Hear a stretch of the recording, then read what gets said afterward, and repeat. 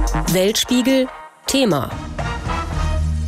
Hier ist der Weltspiegel Podcast. Themen, die die Welt bewegen und Hintergrund zu aktuellen Nachrichten. Darüber sprechen wir jede Woche in unserem Podcast mit den Auslandskorrespondenten der ARD und Experten. Mein Name ist Male Stüssel. Schön, dass ihr dabei seid. Wenn ich morgens aufstehe, dann schalte ich immer zuerst das Radio an und so bin ich gut informiert für den Tag und auch die ersten Konferenzen bei der Arbeit.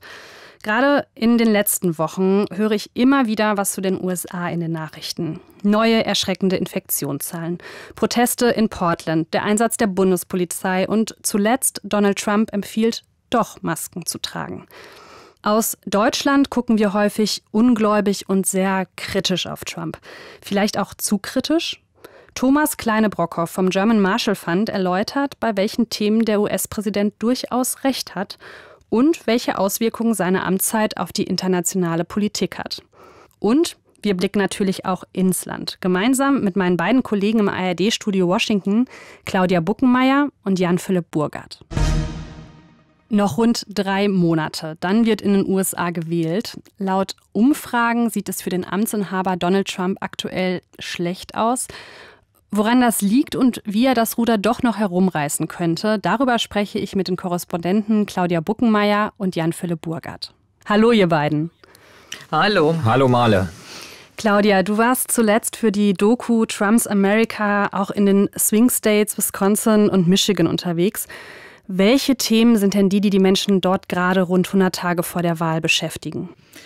Also am stärksten beschäftigen die Menschen momentan Corona und äh, daraus die Folge für die Wirtschaft und wie es der Wirtschaft geht und die Sorge einfach davor, alles zu verlieren, was man bisher erreicht hat. Das beschäftigt die Menschen wirklich am meisten. Sie sagen einem aber auch, wir haben in diesem Jahr gesehen, dass sich die Situation immer ganz, ganz schnell wieder ändert und äh, möglicherweise ist in ein paar Wochen alles schon wieder ganz anders. Also da schwingt dann auch immer so ein bisschen Hoffnung und Optimismus noch mit, obwohl man im Moment sagt, ja, es ist schon sehr beunruhigend, die Lage. Mhm. Also ich meine, gerade wenn wir jetzt auf die Zahlen, die Wirtschaftszahlen im zweiten Quartal gucken, das ist ja wirklich erschreckend, dann sind die Sorgen doch auch eher berechtigt. Ja, auf jeden Fall. Also vor allem jetzt im Moment haben die Menschen noch diese kleinen Hilfen bekommen, die von der Regierung kamen. Die haben ihnen erstmal geholfen. Sie konnten ihre Angestellten behalten und weiter bezahlen. Und das haben mir Leute vor Ort gesagt, das war eine ganz, ganz große Hilfe. Nur wenn das jetzt alles ausläuft und die Situation aber nicht wirklich besser wird, also zum Beispiel, ich habe einen Bauern getroffen, der lebt von Milchwirtschaft, der lebt davon, dass er seine Milch an Restaurants liefert geliefert, dass Käse daraus gemacht wird. Wenn die Nachfrage in den Restaurants nicht anzieht, dann zieht auch die Nachfrage nach seiner Milch nicht an. Und das heißt, er kommt nicht wirklich nach vorne. Er kommt nicht aus diesem Tief raus. Und das beunruhigt ihn natürlich. Wie beurteilen denn die Wähler oder die Menschen, die du auf deiner Reise getroffen hast, die Politik Trumps aktuell, gerade auch in Bezug auf Corona? Naja, das ist unterschiedlich, je nachdem, ob man sich mit jemand unterhält, der Trump eher unterstützt oder der gegen ihn ist. Da spaltet sich äh, die Meinung auch ziemlich auf. Also dieser Landwirt, den wir intensiv getroffen haben, der möchte eigentlich, dass Trump wiedergewählt wird, weil er sagt, er ist einfach gut für die Landwirtschaft, der hat uns unglaublich viel geholfen, der versteht uns.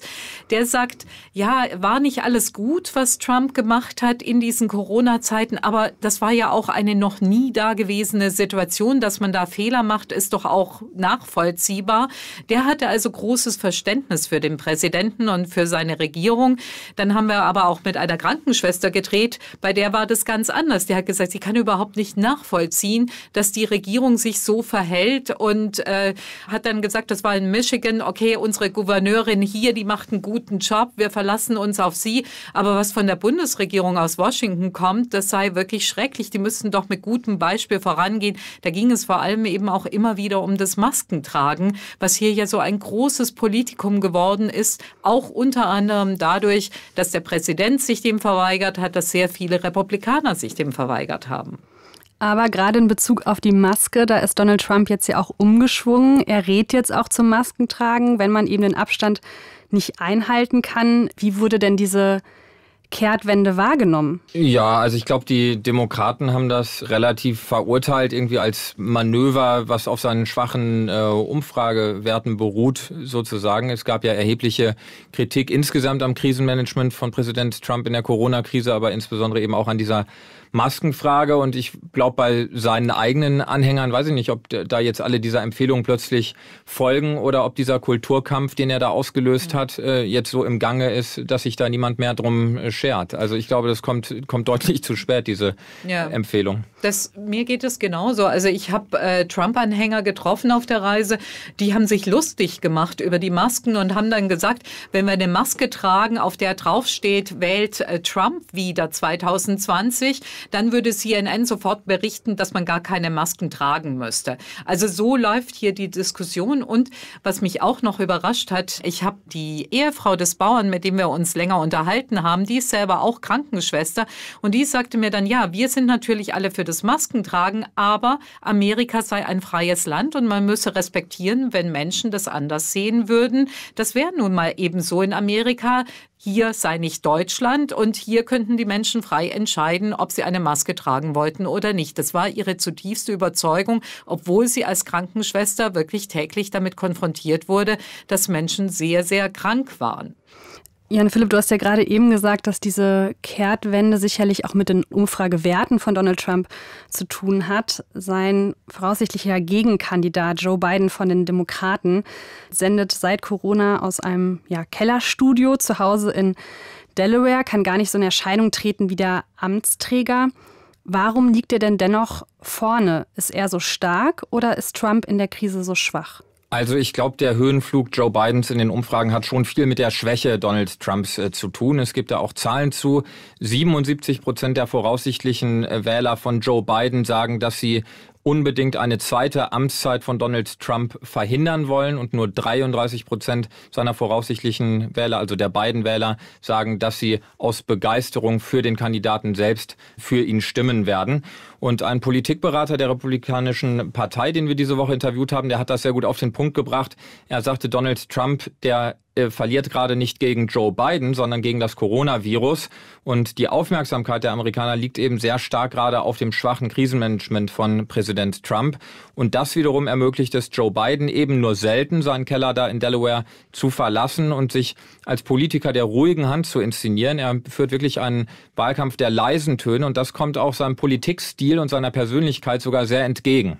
Und das macht es Donald Trump wiederum sehr schwer, irgendwie Angriffspunkte zu finden. Das merkt man ja immer wieder. Er versucht immer wieder zu provozieren, aber das landet so ein bisschen im Moment noch im Nichts drin. Und ich glaube, das macht so die ganze Campaign, die sich momentan mit den Wahlkampfzielen von Donald Trump beschäftigt, so ein bisschen unruhig, weil sie gar nicht so richtig wissen, wo sie ansetzen sollen, oder? Ja. Mhm. Vielleicht, du hast gerade schon gesagt, vielleicht kommt es beiden auch so ein bisschen entgegen. Ich meine, er selber hat sich ja auch mal als Fettnapfmaschine äh, bezeichnet, der auch gerne mal irgendwelche Versprecher drin hat, ähm, die dann im Anschluss kritisiert worden sind. Entsprechend ist es vielleicht für ihn auch gar nicht so schlecht, nicht auf der großen Bildfläche unterwegs zu sein, sondern eben aus seinem Kellerstudio zu senden. Wie seht ihr das? Ja, ist tatsächlich so, dass man immer wieder liest, dass sein Wahlkampfteam äh, bemüht ist, ihn möglichst äh, abzuschirmen. Das haben wir auch selber mal so erlebt in, New Hampshire im Vorwahlkampf zum Beispiel, als wir da mit dem Mikrofon auf ihn gewartet haben, ähm, dass sein, sein Team, was um ihn herum ist, immer sehr darum bemüht ist, ihn abzuschirmen von Kamerateams, dass er nicht irgendwie spontan Interviews gibt, spontan irgendwelche Äußerungen äh, raushaut, die dann vielleicht irgendwie falsch wahrgenommen werden könnten oder die ihm ja ein Fettnäpfchen bescheren. Und ähm, insofern ist es für ihn im Moment wirklich äh, perfekt, so wenig wie möglich öffentlich in Erscheinung zu treten. Er macht seine Reden ja oft da im Livestream aus dem Keller heraus. Jetzt diese Woche hat er eine Pressekonferenz gegeben, mal in so einer Turnhalle in der Nähe seines Hauses. Da liest er auch überwiegend vom Teleprompter ab und beantwortet nur relativ wenige äh, Fragen. Also für ihn ist das eigentlich gerade der perfekte Wahlkampf. Was zählt denn noch zu seinen Stärken? Also ich glaube, seine größte Stärke ist sein Einfühlungsvermögen. Joe Biden, der kann eher im, im kleinen Kreis strahlen, wenn er zum Beispiel die Angehörigen von Gewaltopfern äh, tröstet. Er hat sich neulich mit der Familie von George Floyd zum Beispiel getroffen und da merkt man ihm eben auch seine eigene Familiengeschichte an, die sehr schicksalhaft äh, geprägt ist. Äh, seine erste Ehefrau und seine kleine Tochter sind äh, tödlich verunglückt bei einem Autounfall. Sein erwachsener äh, Sohn Bo ist vor einigen Jahren äh, an Krebs gestorben. Und ähm, da merkt man schon, dass er eine aufrichtige Empathie irgendwie ausstrahlt. Und ich glaube, das ist, was auch sogar republikanische Wähler an ihm respektieren. Claudia, auf deiner Drehreise hattest du das Gefühl, dass das auch bei den Wählern tatsächlich so ankommt? Naja, sie wissen das, dass das so ist. Sie nehmen ihn auch als so jemanden wahr. Aber im Moment kann er das, und das ist das große Problem, das kann er ja gerade gar nicht ausleben, weil Begegnungen dieser persönlichen Art, die Nähe, die er normalerweise herstellen kann, die darf im Moment gar nicht entstehen, weil wir alle auf Distanz sind. Also das, glaube ich, ist echt für ihn wirklich so ein bisschen ein Problem. Aber ich habe genauso wie Jan Philipp das beschrieben hat, von vielen gehört, naja, wir müssen mal wieder entscheiden zwischen zwei Übeln und welches ist das kleinere Übel, für den entscheiden wir uns dann. Also die Leute sind nicht wirklich glücklich mit der Wahl. Zwei wirklich auch sehr alte äh, Kandidaten. Donald Trump ist ja auch nicht mehr der Jüngste. Mhm. Joe Biden wäre der älteste Präsident tatsächlich, wenn er gewählt werden würde mit 77 ja. Jahren. Ja. Ja. Viele sagen hier, dass es jetzt eben sehr darauf ankommt, wen er auserkoren wird äh, zur Vizepräsidentin. Also von daher, da warten alle total gespannt drauf, dass er irgendwann in den nächsten Tagen rauskommen. Ähm, man kann Wetten drauf abgeben, so richtig weiß man es nicht. Man weiß nur, dass es eine Frau sein wird und alle vermuten, dass es eine schwarze Frau sein wird. Aber das könnte schon sein, dass das dieses Mal ein bisschen eine größere Rolle spielt als bei anderen Wahlen, weil ja ganz klar ist, dass er kein zweites Mal antreten will. Das hat er eigentlich schon immer auch gesagt. Und dann würde die Wahl möglicherweise auf die Vizepräsidentin fallen. Und deswegen gucken da viele sehr genau hin. Welche Namen schwirren da gerade im Raum als mögliche Kandidatin? Also man hört äh, Kamala Harris immer wieder, die Senatorin aus äh, Kalifornien, die auch äh, schwarz ist. Wie Claudia es vorhin gesagt hat, man sagt, dass das eben sozusagen ein großer Vorteil wäre, um auch eben die, die wichtige schwarze Wählerschaft zu mobilisieren. Außerdem ist Susan Rice im Rennen, die ehemalige nationale Sicherheitsberaterin von äh, Präsident Obama. Mit der versteht sich Biden offenkundig sehr gut. Man kennt sich eben aus der gemeinsamen Zeit äh, im Weißen Haus. Da ist offenbar ein Vertrauensverhältnis da, was mit Kamala Harris Harris wohl nicht unbedingt äh, der Fall ist. Das Problem bei Susan Rice ist, dass sie noch nie selber einen Wahlkampf äh, geführt hat, sondern eher sozusagen als Expertin hinter den Kulissen gilt. Ja, anfangs wurde sehr intensiv über Stacey Abrams nachgedacht. Das ist die Frau, die Gouverneurin in Georgia werden wollte und dann ganz knapp unterlegen ist, äh, einem Trump-Vertrauten, die sich extrem für Gleichberechtigung beim Wahlrecht einsetzt und damit inzwischen sehr punktet, vor allem natürlich in den schwarzen Gemeinden. Da scheint aber die Chemie nicht so richtig zu stimmen. Dann werden diverse schwarze Bürgermeisterinnen genannt, unter anderem die Bürgermeisterin Bürgermeisterin von Atlanta auch. Aber irgendwie hat man so ein bisschen das Gefühl, dass die ein bisschen weiter nach hinten getreten sind in der letzten Zeit. Was, glaube ich, Fakt ist, ähm, die mediale Aufmerksamkeit in dem Moment, wo Biden da mit dem Namen sozusagen hervortritt, äh, wird dann doch erstmal auch in, in diesen Tagen dann sehr stark äh, auf der Biden-Kampagne äh, sein. Wahrscheinlich zum ersten Mal in diesem Jahr. Mhm. Ja, denke ich auch. Und wahrscheinlich werden sie das auch doch relativ kurz vor dem Parteitag, vor dem Nominierungsparteitag im August jetzt machen.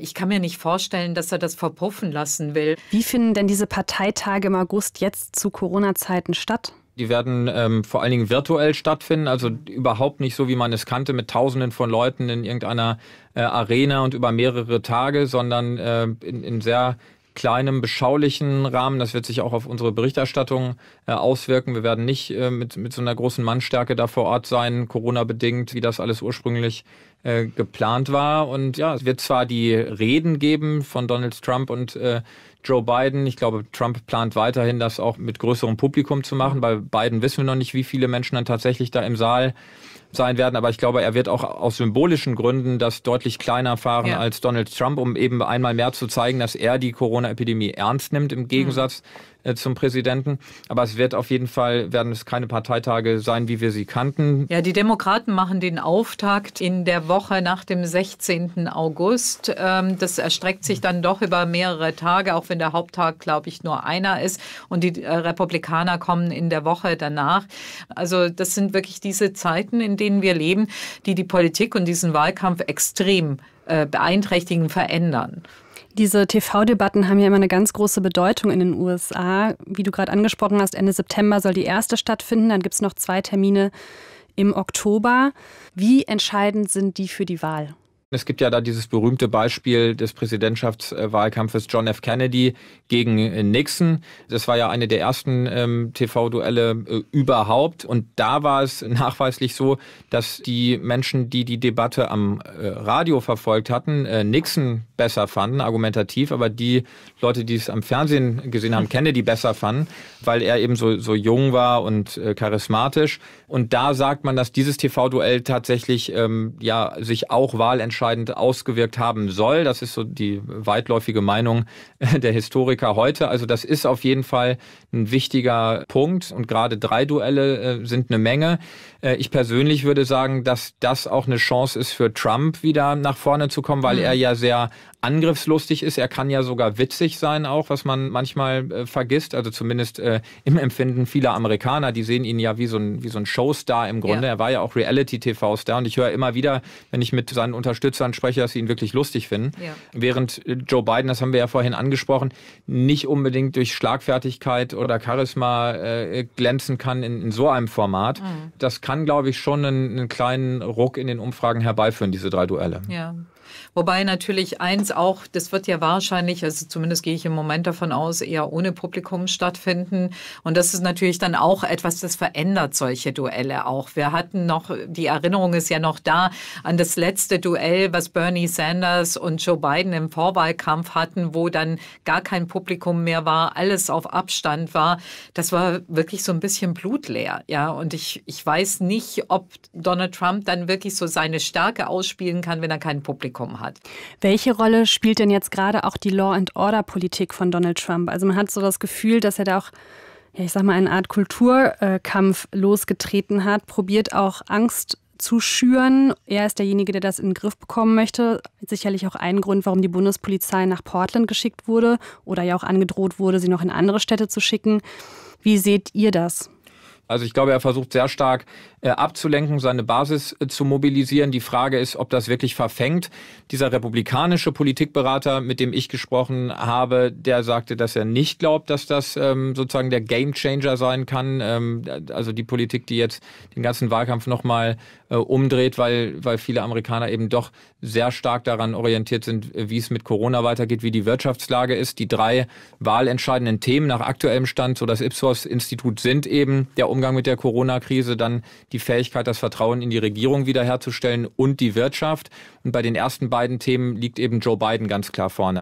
Bei der Wirtschaft liegt Trump nach vorne. Aber Law and Order ist im Moment nicht das Thema laut mhm. Umfragen, was ähm, am allerentscheidendsten ist für die Bürger. Also wichtig ist es eben in der Hinsicht, die eigene Basis zu mobilisieren. Und dann wird es darum gehen, wie viel Unabhängige sie jeweils für sich gewinnen können.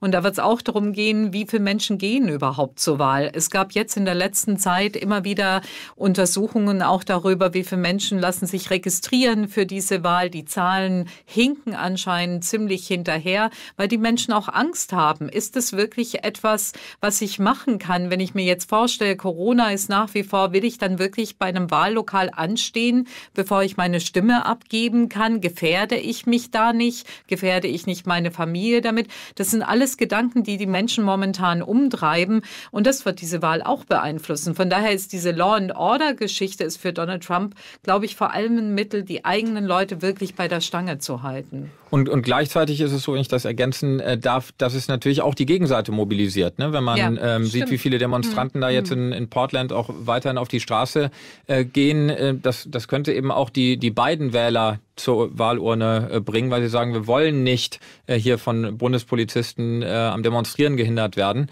Ähm, also das ist, glaube ich, ein riskantes Spiel, was, mhm. ähm, was äh, Trump da treibt. Claudia hat vorhin noch die unabhängigen Wähler angesprochen, die, die undecided. Mhm. Äh, das ist auch noch ganz interessant. Dieser Meinungsforscher von Ipsos sagte, dass da im Moment eine sehr große Tendenz zu beiden sei, während 2016 im Wahlkampf zwischen Trump und äh, Hillary Clinton das bis zum Wahltag wohl eher so 50-50 war. Und da zeichnet sich jetzt gerade eine sehr starke Tendenz zu beiden ab, was diesen Meinungsforscher von Ipsos äh, dazu veranlasst, äh, zu sagen, dass er von 100 Dollar 70 auf Biden setzen würde und nur 30 auf Trump. Ich habe ihn das gefragt.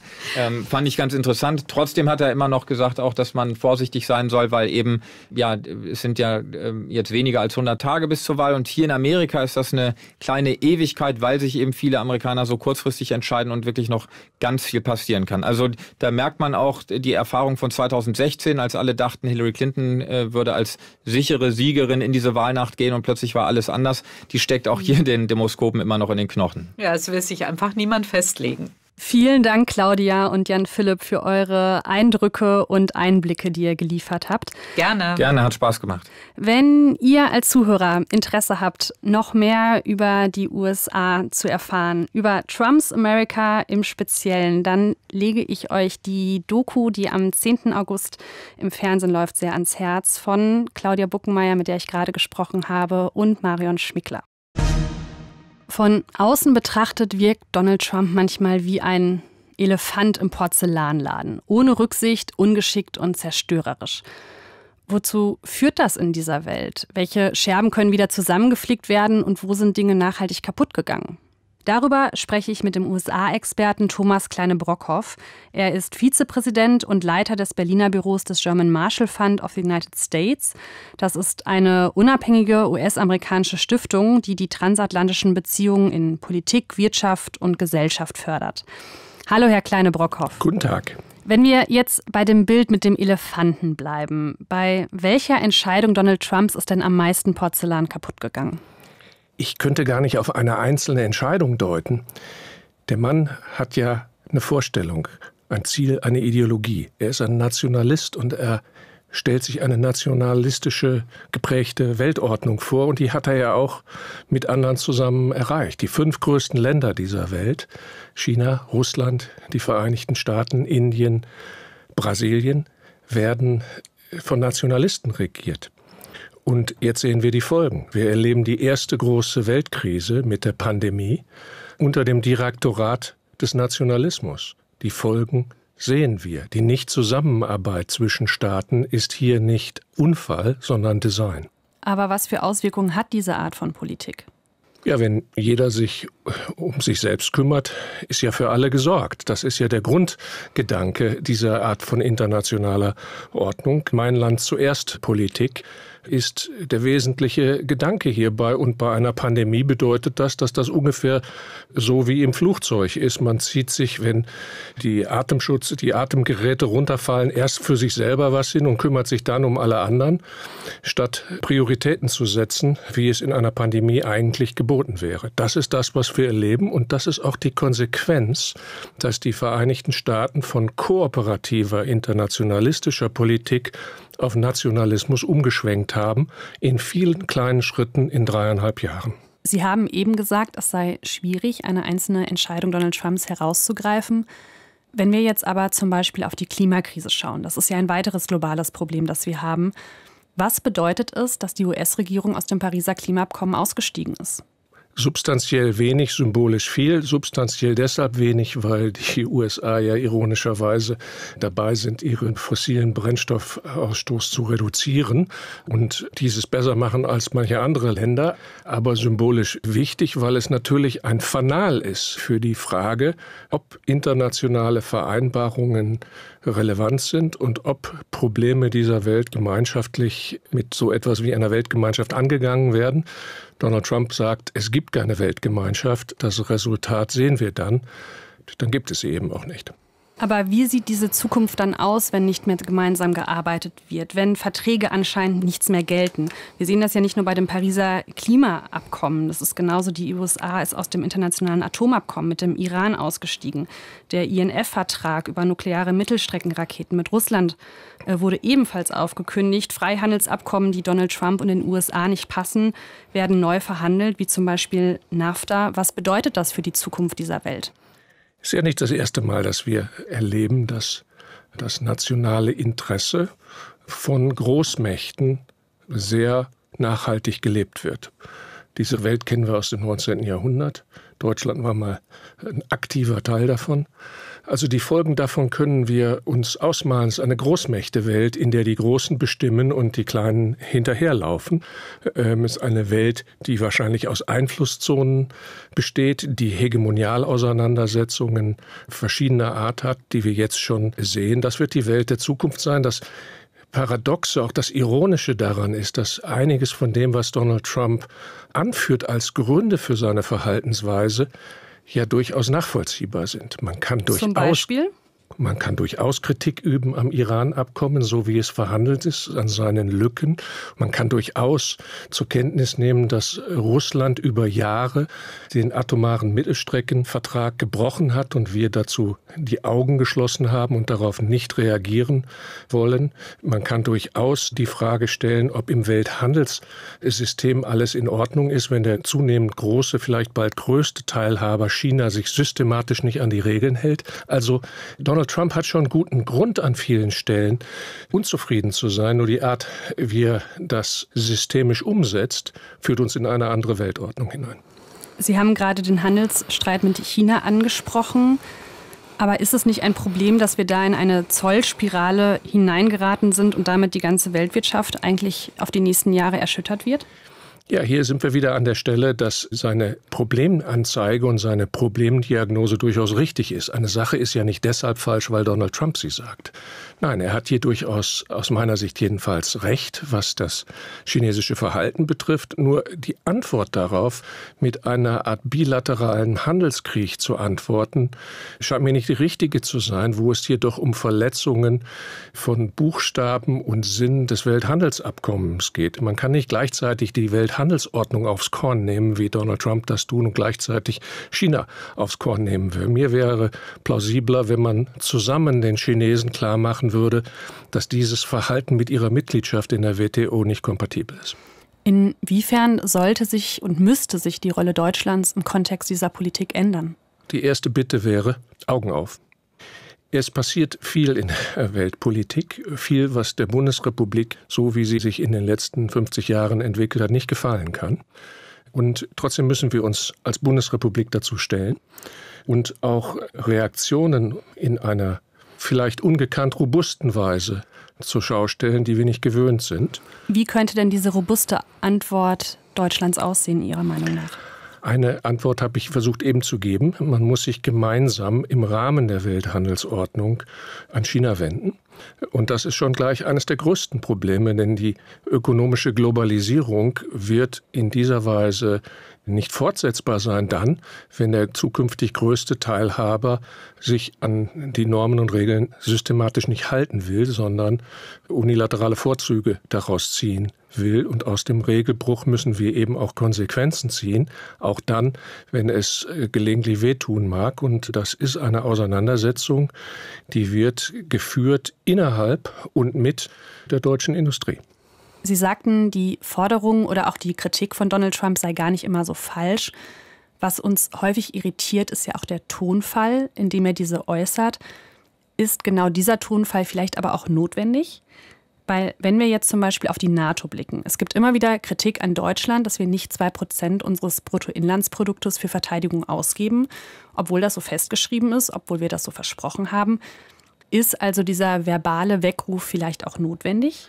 Also mich stört natürlich der Ton, aber noch mehr stören mich die Methoden, mit denen er vorgeht. Die amerikanische Politik gegenüber Deutschland in den drei Jahren von Donald Trump besteht ja aus Drohungen, Beleidigungen, Zöllen, Sanktionen und nun Truppenabzug. Ich kann mir nicht vorstellen, nicht ausmalen, welche Konsequenzen sich die USA vorstellen, dass dies in der deutschen Bevölkerung, in der deutschen Politik haben wird. Das bedeutet aber nicht, dass wir nicht auch selbst in den Spiegel schauen sollten.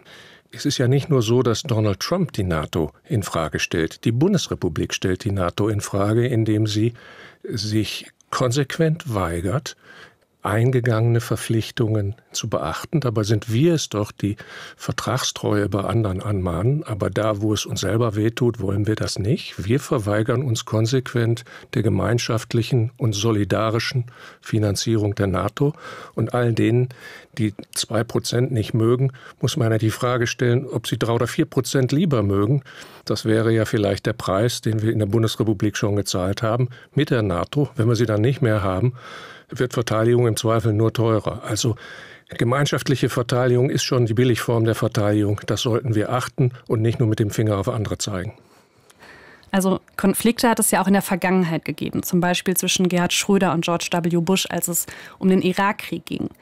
Jetzt nach dreieinhalb Jahren Trump, wie sieht denn gerade das deutsch-amerikanische Verhältnis aus?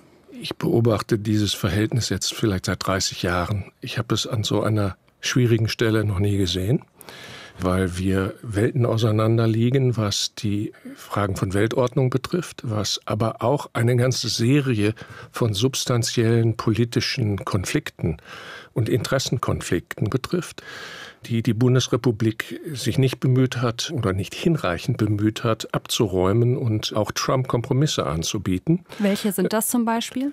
Wir haben Konflikte in Handelsfragen, in Zwei-Prozent-Fragen. Wir haben die Nord Stream-Frage, wir haben die Iran-Frage. Wir könnten eine ganze Serie von kleineren Konflikten, aber diese sind die größten.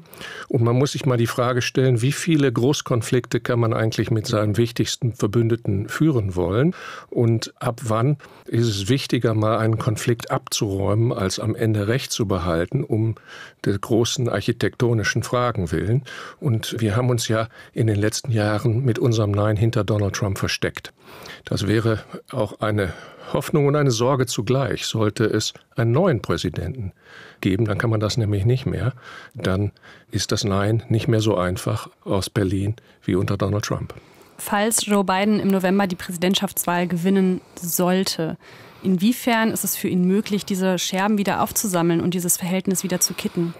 Naja, es wird einen Zustand wie vorher schon deshalb nicht geben, weil inzwischen viel geschehen ist. Es ist viel Porzellan zerstört worden. Es ist eine andere Welt, äh, hat sich in den vier Jahren gebaut. Aber man sollte auch nicht, wie ich es vielfach in Berlin höre, argumentieren, dass sich ein Jahr nichts ändert. Und das bedeutet dann, dass man sich selber auch nicht ändern muss. Das ist, glaube ich, eine gefährliche Annahme. Joe Biden ist ein anderer Präsident, sollte er denn ins Amt kommen. Und er hat eine andere Vorstellung von dem, was internationale Zusammenarbeit ist und was eine Allianz ist oder sein soll. Ich glaube, man kommt dann in ein anderes Problem. Man wird sich von Kooperations Bitten gar nicht retten können und man weiß gar nicht, wo man eigentlich Ja sagen soll und wo man Kompromisse schließen muss, die man in den letzten Jahren eben nicht geschlossen hat. Und ich würde hoffen, dass eine ganze Reihe von Politikern den Sommer darauf verwendet, sich Gedanken darüber zu machen, wie man eigentlich dieses Verhältnis, das am Tiefpunkt ist, reparieren kann. Gibt es denn in Berlin auch Szenarien, was passiert, wenn Donald Trump wiedergewählt wird? Wir haben ja jetzt vier Jahre lang erlebt, dass die Bundesrepublik eine Politik der strategischen Geduld geführt hat, in der man sagt, vier Jahre sind noch keine Ära.